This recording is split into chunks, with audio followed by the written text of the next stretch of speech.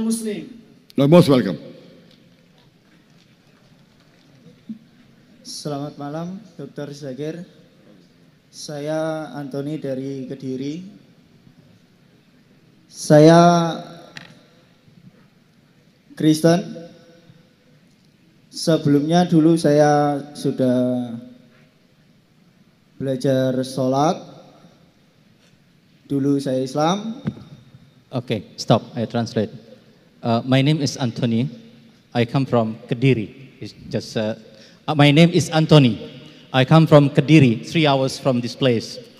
Uh, I am Christian, but uh, I was I did uh, learn about salat before. I, I, learned salat before. I I did learn about salat. Terus? Uh, were you Muslim? He was. He was Muslim and he prayed. Ya, Iya. Terus? yang saya mau tanyakan kemungkin eh, kenapa saya berpindah agama? Dulu karena yang wahyu yang terakhir dulu yang dipelajari di Islam itu Nabi Muhammad. Di Kristen pun juga menganut satu keyakinan ya ya Allah itu ya ya Tuhan satu itu Oh, yes, right. Uh, I was Muslim and I re- revert to Christian. And uh, it is said in Islam that the Prophet Muhammad is the final messenger, the last messenger. And it is said also that in the Bible, the Quran, it said that uh, God is also one. Terus pertanyaannya? Dan yang saya tahu di Islam itu pada akhir zaman, Pertanyaannya apa? ya pada akhir zaman Nabi Isa kan yang disebut Yesus itu di di Islam itu kan Nabi Isa. Itu kan turun di akhir zaman.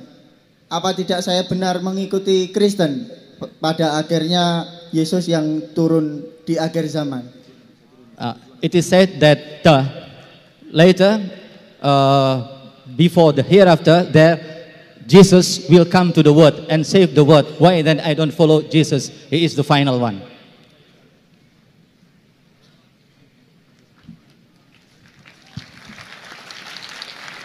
The brother said that he was a Muslim. He became a Christian. He used to offer Salah first. And he believes that there's one God. And Prophet Muhammad is the messenger of God. That's what he said. And he's asking the question that Jesus Christ, peace be upon him, before, before the end of the world will, will come back again. So if he's going to come back again, won't he be the last messenger?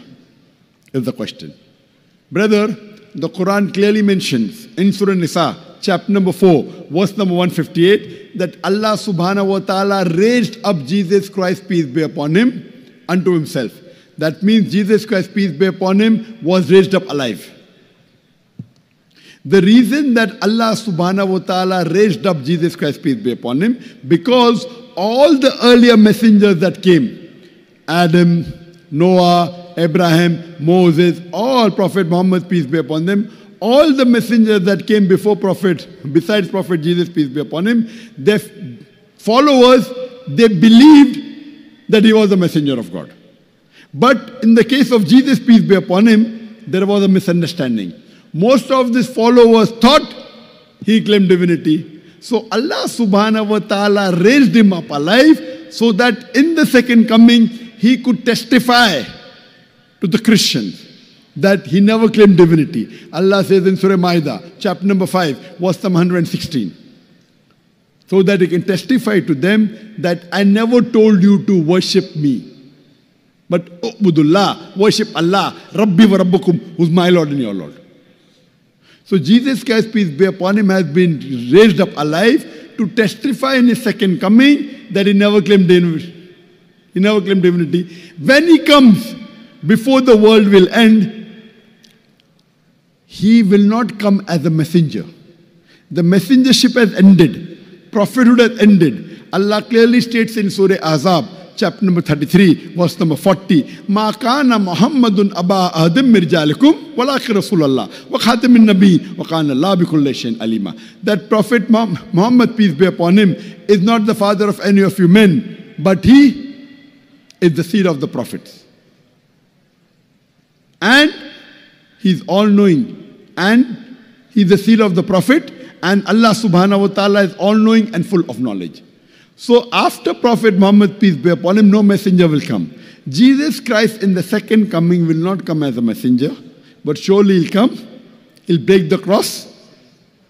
He will kill the Pope. There are various hadiths. And he will testify to the Christians that he never claimed divinity. But he will come as the ummah of Muhammad.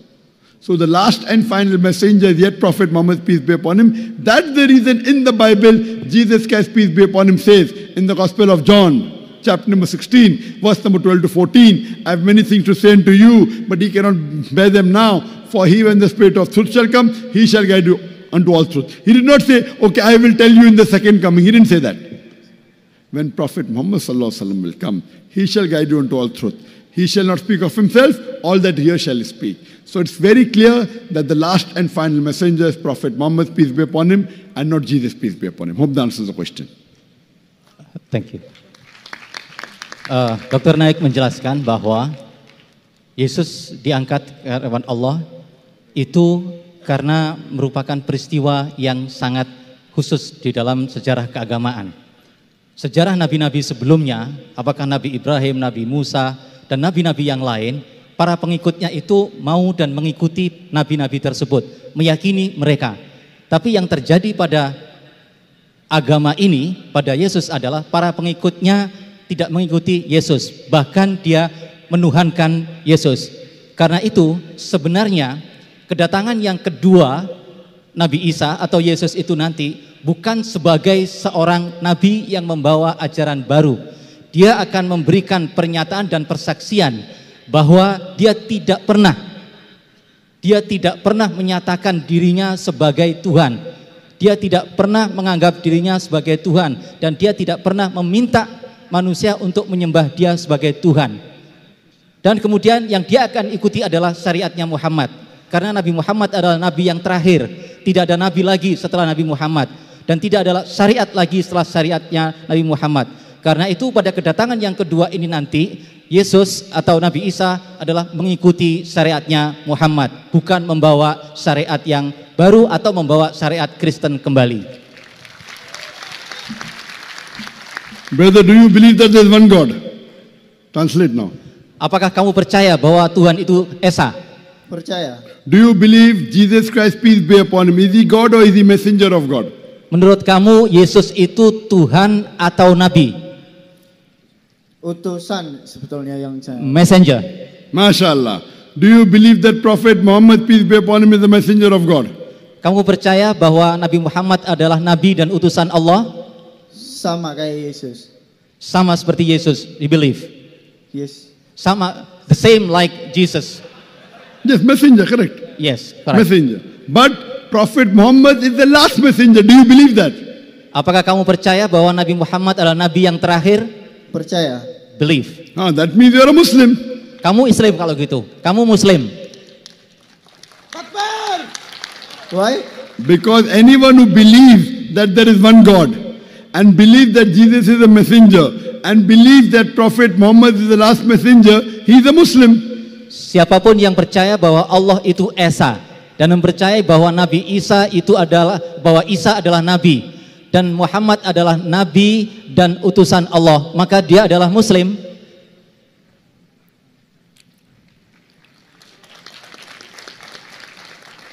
Do you agree, brother? Kamu setuju dengan yeah. ini? Yes. Yeah. Would you like to say it in Arabic? Kamu mau mengucapkan dalam bahasa Arab persaksian ini? Ya. Yeah. Yes. Ashadu Asyhadu Allah Allah ilaha ilaha illallah illallah wa ashadu wa asyhadu anna anna Muhammadan Muhammadan abduhu abduhu wa rasuluhu. wa rasuluhu.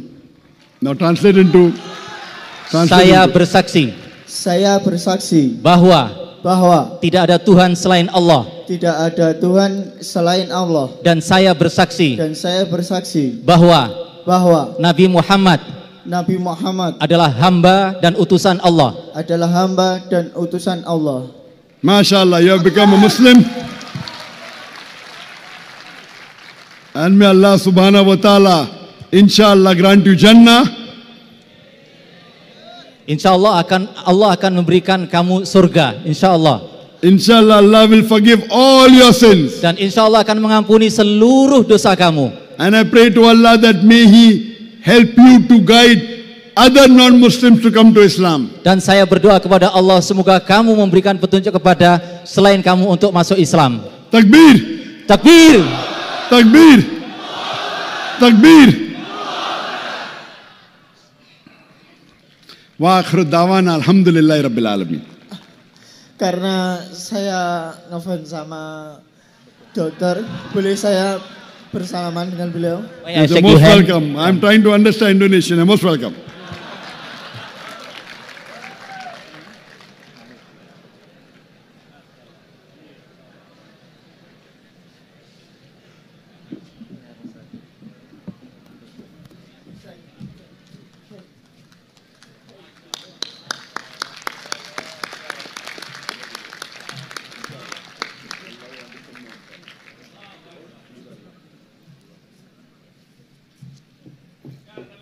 Low, low,